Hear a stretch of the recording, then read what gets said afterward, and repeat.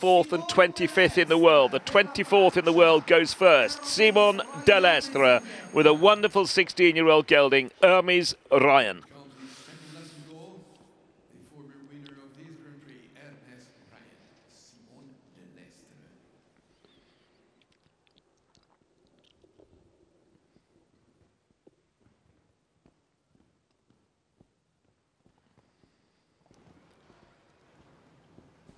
Seven strides, turning as he's going over the fence.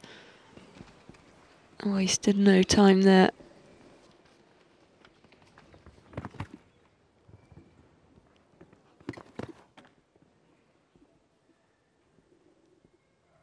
Half a second to make up. Good turn. Brilliant. Gets that vertical out the way. 37.8. He comes to the last. He's over. He's clear. And he's in the lead. What a tremendous performance. That will mean so much, so much to Simon Delestre.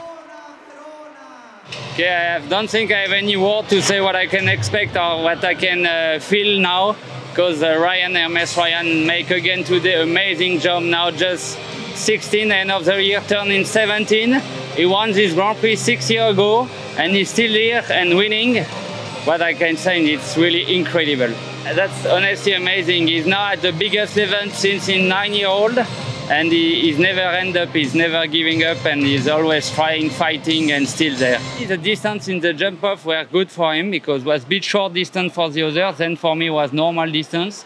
But the first one was a bit tricky for me because the, the four long strike to the double vertical oxer, that's tough for him. And also oxer oxer in the triple combination, two stride, that's also big effort, but today was in full form. And when he's like that, okay, it's fantastic.